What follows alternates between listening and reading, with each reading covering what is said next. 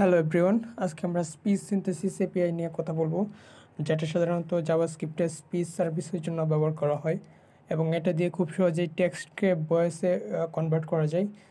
বলতে পারেন এক ধরনের রোবট ভয়েস সো আপনারা হয়তো রিসেন্টলি একটা ভিডিও দেখতে দেখবেন ঝঙ্কার মাহবুব ভাইয়ার তিনি সেম প্রবলেমটা সলভ করছেন পাইথন দিয়ে, মাত্র চার লাইন কোড লিখে।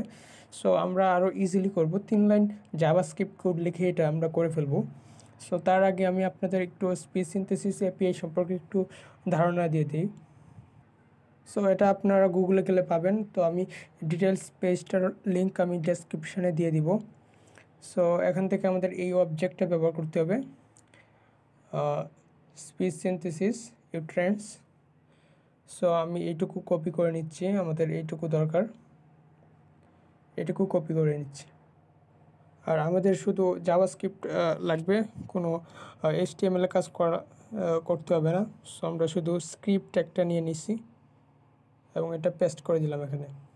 তো আমি ভেরিয়েবলটা একটু ছোটো করে নিচ্ছি।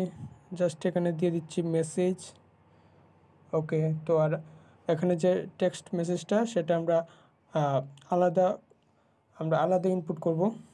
সো জাস্ট এখানে দিব মেসেজ ডট টেক্সট ওকে এবার আমরা কি সেন্টেন্সটা আমরা কনভার্ট করব সেটা আমরা লিখে দিব। আমি দিয়ে দিচ্ছি এখানে we are JavaScript programmer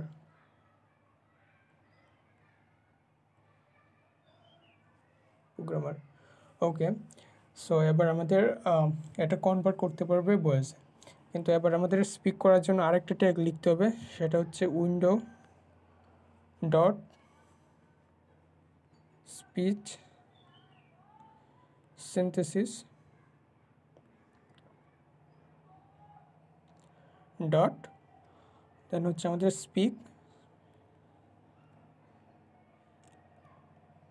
দেন হচ্ছে আমাদের ভেরিয়েবলটা পাস করে দিতে হবে মেসেজ। এইটুকু হচ্ছে আমাদের কাজ। এবার আমি এটা ক্রোম ব্রাউজারের সাহায্যে ওপেন করছি। We are JavaScript programmer.